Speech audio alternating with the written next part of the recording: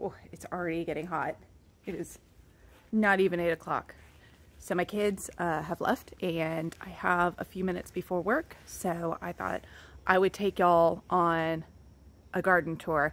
I had posted on my Instagram stories a few days ago asking if people wanted to do a garden tour and I had a lot of people say yes. And then I regretted it because I realized, oh, I'm gonna have to show y'all my garden. my garden is kind of a mess right now. It's super hot to me it feels sort of normal that some plants would be struggling, but some plants are doing really well and then some plants are doing really, really not well. Um, but I said I would, so here we go. So this is it. This is my garden. It looks really, really nice from afar. Let's go take a look at what's going on. So I have a lemon tree when I bought it, it was a Meyer lemon, and then I accidentally left it out in a freeze, so it died.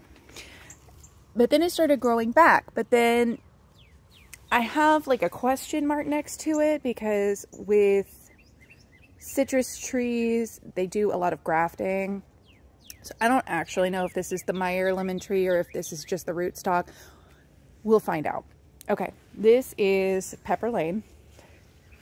So my peppers are actually starting to do well. I'm very proud. Um, some of them are starting to do well.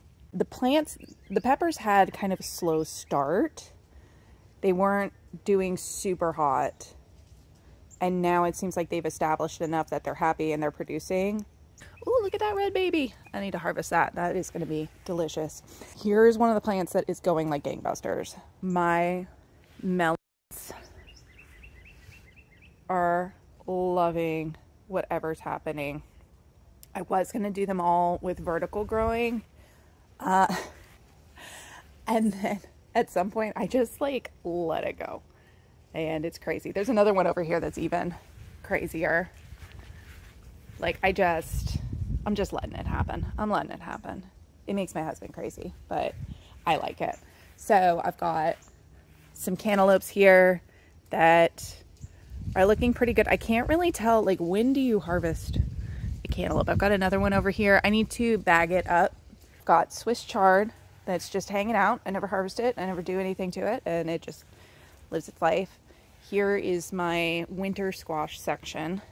Clearly, some are doing better than others, but it seems to be, oh, look, it's encroaching on my tomatoes. Ah, listen, you've got like a whole tomato cage to hang out on. Hang out there.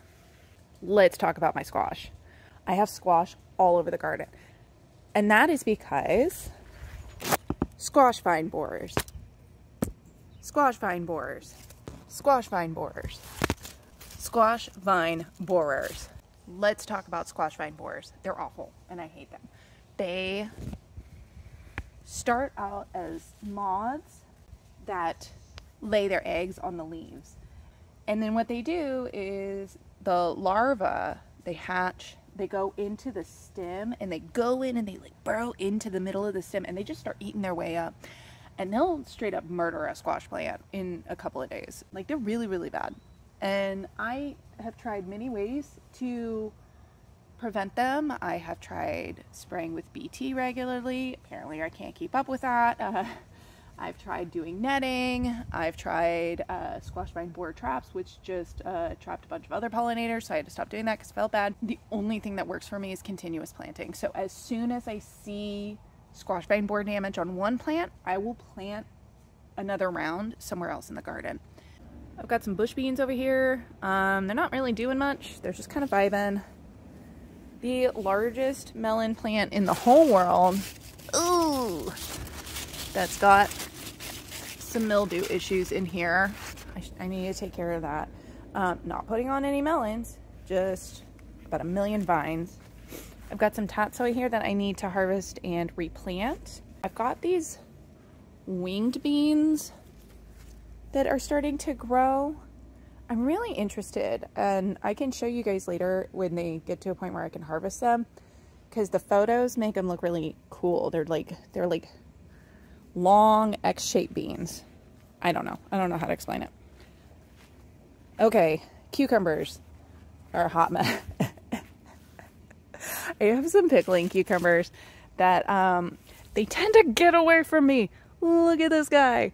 He is humongous. Oh my goodness. There are ants all over. Look at all those ants. What am I supposed to do with this plant? This is completely useless to me. Get off my hand. Completely useless to me. It is going to taste disgusting. This is just going to go in the compost. Uh, I'm going to throw it down here for right now. I've got this chili pequin pepper plant. Um, did I plant a chili pequin? No. Is it growing anyways? Does it grow every year? Yeah. Yeah, yeah, yeah, yeah. I don't know. I've got some uh, pole shelling beans here. I need to, I'm going to come, I, I see a couple that I need to pick. So I just pull them when they're dry. I've got a bowl in the kitchen that I really need to get to at some point. So, okay, let's talk about, let's talk about my tomato plants. They're a mess. Did a few things wrong with my tomatoes. Um, number one, my soil is too sterile. This raised bed is completely new and it takes a few years to get really good soil. And so for the first couple of years, you have to be really up on feeding it. And I did not keep up with that. So these guys did not get a lot of nutrients. So that's stress. That stresses out the plants. Number two, I was greedy because you're supposed to plant indeterminate tomato plants two feet apart. And I thought, oh, I'll just fudge it and I'll do a foot and a half apart and I'll just keep up on um, pruning because you really don't want tomato leaves like bushing up. Uh, it is it is not good. They need a lot of airflow with the leaves so that they don't get mildew, which is what happened here, or mold, or any other kind of like diseases. Tomatoes are wimps. Um, which leads me to uh, mistake three. I did not keep up with pruning. I did not. And so all of these guys got mold and mildew issues, and they're just dying. They're just dying right in front of me. Yeah, if anybody tells you tomatoes are easy, uh, they're lying liars. And also, don't fudge the uh, spacing recommendation. So I've got some lavender back here. It's still alive, still hanging on. Um, it's tired. It looks, she looks tired. Um, I've got parsley that looks like something has been eating it. Uh, I've got basil that it looks like some of these seeds are ready to harvest. So I'll probably harvest them, reseed this area, and they might grow back. Same with my oregano. I've got sage that's, you know, hanging on.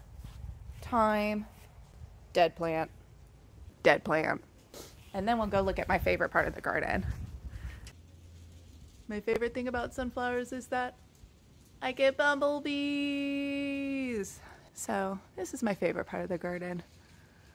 When I come out and I look at the mess that is the rest of the garden, I just, I just go ahead and focus on this. It is the next day, clearly, because I can't film for more than 10 minutes at a time. A, uh, and we're gonna do a seed inventory.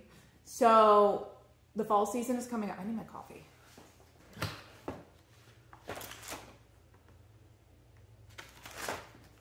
Fall gardening. So why is this a big deal? It's a huge deal in Texas because we basically have two big growing seasons. We have the spring and the fall.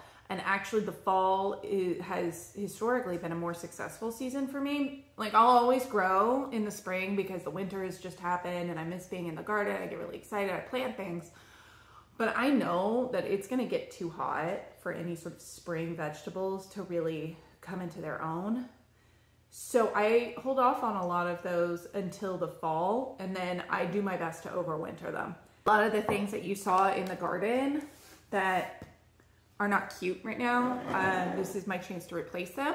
And this is also my chance to buy seeds for when the weather drops and all of my summer plants come out and then we start doing our cool weather plants. So this is my seed organizer. Uh, when all of the gardening bloggers were using these uh, tape organizers, like cassette tape organizers. I definitely got onto that trend and I like it. It keeps things organized. Okay, so we're gonna start with beans. I'm completely out of beans. I have an empty packet of Ferry-Morse uh, Tender Green Improved Bush beans and they were okay. I need to get some bush beans. And I need to get pole beans. So the difference between bush beans and pole beans is that bush beans are like they sound, they make a bush. Um, and they're short and they don't require any kind of trellising or vining. And they put on a lot of beans and then they die. Pole beans are vine, vining plants, and so you need some kind of trellis or support, um, but they will put on beans until the plant dies due to weather or disease, but basically you can harvest beans as long as you want. So bush beans, you typically will plant in uh, phases and kind of just harvest them and plant new ones. Uh, pole beans, you only have to plant the ones. So we may go more heavy on pole beans because I did almost all bush beans this last season and I couldn't keep up with the planting. Beets. Okay, so I've got Baker Creek Bull's Blood beets and I've got Chioggia beets. I think that should be fine. Um, I like to do a golden beet because they are sweet and wonderful and they don't stain your hands in your cutting board. So it's kind of nice. Broccoli and cauliflower. Uh, I forgot about this. I've got a mystery brassica here. So I know they're brassicas. That's about as much as I know. So I'll probably plant those just to see what happens. And then I've got Calabrese green sprouting broccoli. I like because it makes a lot of side shoots. I think I'm gonna run out, so we do need more broccoli. I'll probably get another more, another more, another calabrese, and then like one more, and I'll go see. I'll go do a fun one. I don't plant cauliflower because I don't have the space for it. They're pretty big plants, and they only make one head and then they're done. They don't do side shoots the way the broccoli does. I don't have that kind of room in my garden. Cabbage. I love cabbage. I'm actually really happy with these cabbages and I probably will just get another one of this, a re-up. Um, so this is the uh, Tiara Market Fresh Cabbage. So it's called Market Green Cabbage, my bad, from Johnny Selected Seeds. They make these tiny little compact green cabbage. And in fact, maybe I might see if they have another one that's a red cabbage. Um, great for small families. The plants don't get too, too big. Um, but then this one I'm probably gonna have to get more. This is Minuet. It is a hybrid Chinese cabbage, so uh, really similar to a Napa, but again, makes these smaller heads, smaller compact plants, really good for small gardens. Every season I order more carrots and then I don't plant them. So I've got these black nebula seeds. They're really nice. I've got these new Carota from Baker Creek. I don't know if I ever actually successfully grew these. I've got the Kyoto Red from Baker Creek. Again, like I have really bad luck with carrots. I don't do well with carrots. And then I've got these little finger carrots um, and they make very, very small carrots. I'm not as into those. So I'm probably gonna do a Danvers half long. So Danvers half long is a pretty standard carrot. I've got hybrid turnips. I tried planting turnips. It got too hot. They did not enjoy the weather. They did not do well. So I've got an Easter basket mix of radishes that I need to use up. I don't need any more radishes. I have so many radishes. I've got early scarlet globe radishes. I've got a hybrid daikon radish. I've got a Japanese daikon radish that ends up getting huge. I have the 18 days radish um, that never takes 18 days. It always takes so much longer. I don't, lying liars. I am gonna use these up before I get anything else. Cucumbers. I love cucumbers and actually fall cucumbers do so much better than spring and summer cucumbers. I've got this cucamelon. I've got it outside. I need to figure out when to harvest them. I didn't see one growing and it was like this big and it was rock hard. So I have enough of those. This is the Sumter pickling cucumber. I'm probably gonna get a different variety. I don't like these. And you know what? I'm gonna need another slicing cucumber because my Johnny Selected Seeds is almost out. Okay, well my phone ran out of battery. Um, and then I had to go to work. And now it's the end of the day. this is just how my life is. Um, and I'm gonna keep going. Okay, eggplants. So I've got, I think this is fine. I honestly keep the eggplants that I've got growing because they look great. I'll probably just add a couple more. I've got a few of the Black Beauty eggplants uh, in the garden and they're doing great. Fantastic, love it. I wanna do a few more of these Chinese string um, for sort of long, those long eggplants that are good for stir fries and pickles and really just kind of better in, in Asian cooking than sort of the big globe eggplants. Uh, greens, a surprise Napa cabbage. Um, think we're good on kale.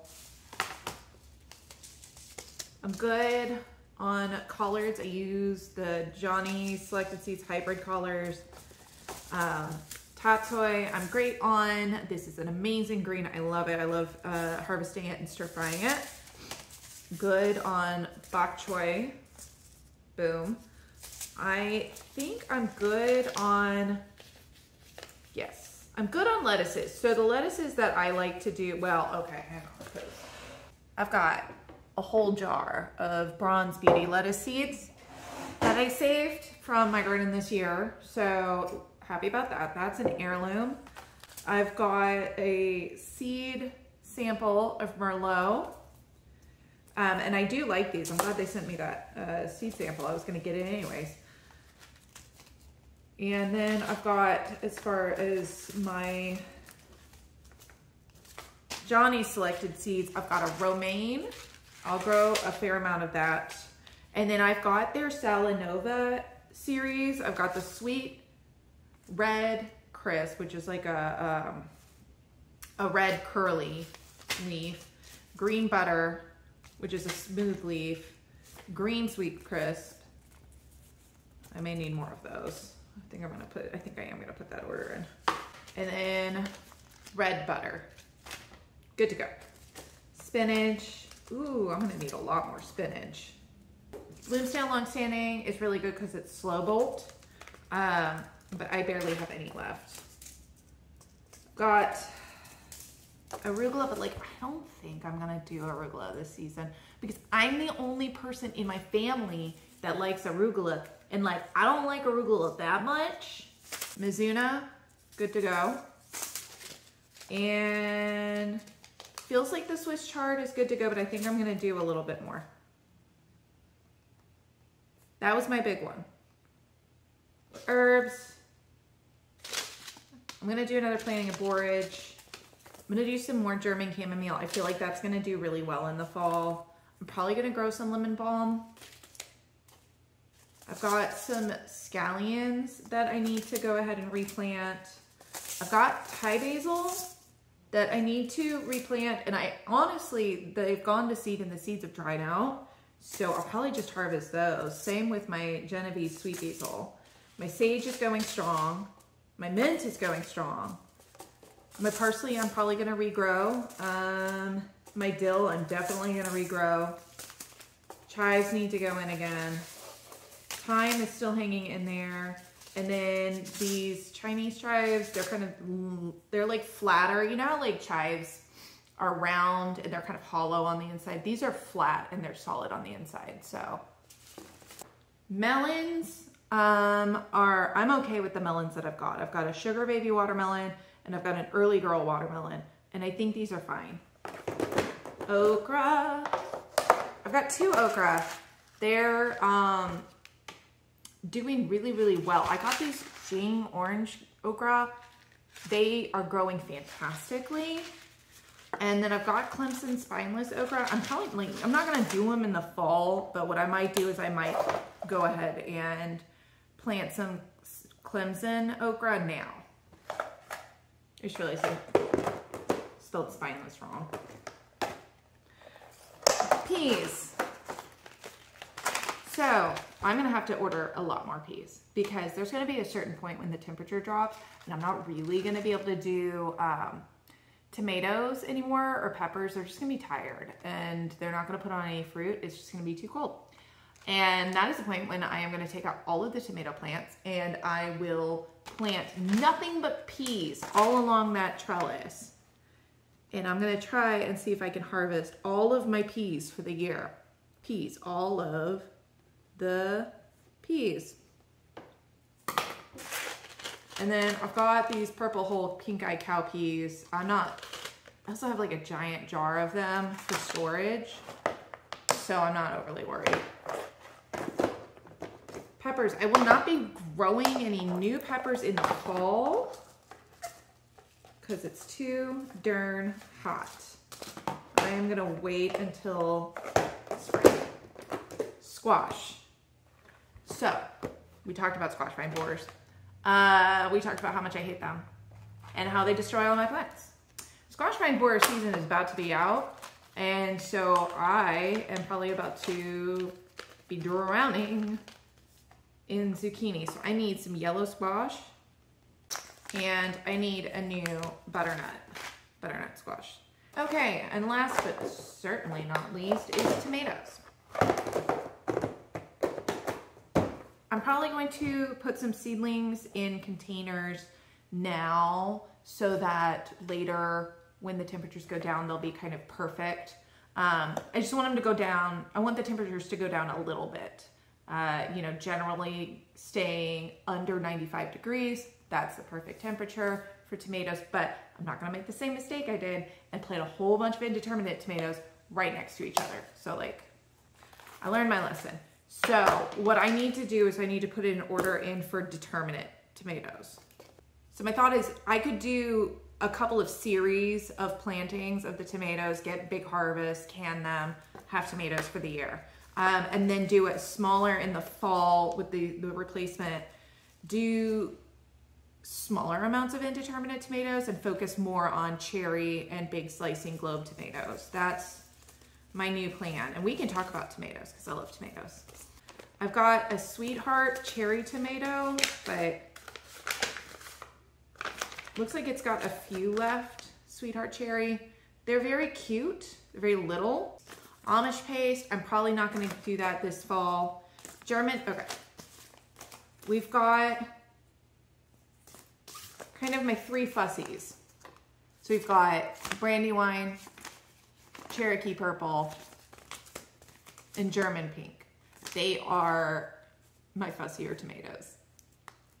I think out of these two, I'm probably gonna go with Cherokee purple and Brandywine. You know, Brandywine, it's kind of the top shelf of tomatoes. They're also like the hardest to keep happy, but they taste so good, it's worth it. And then Cherokee Purple to me is kind of my ride or die. Every season I grow, I grow her and she's good.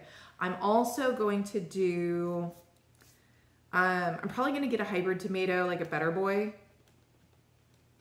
where they're just grown to be productive and they just, they're always, they're very dependable, you know? And maybe an early girl. I might get some early girl seeds because we have a small turnaround time. And yeah, this is my, uh, this is my current seed inventory. I'm gonna put an order in for seeds. I mean, if you're interested, I could do a seed haul when they come in.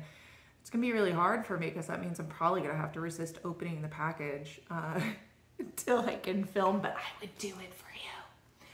Anyways, this is my first video. So uh, welcome to my channel. Follow me if you wanna see more misadventures in homesteading. All right, have a good one.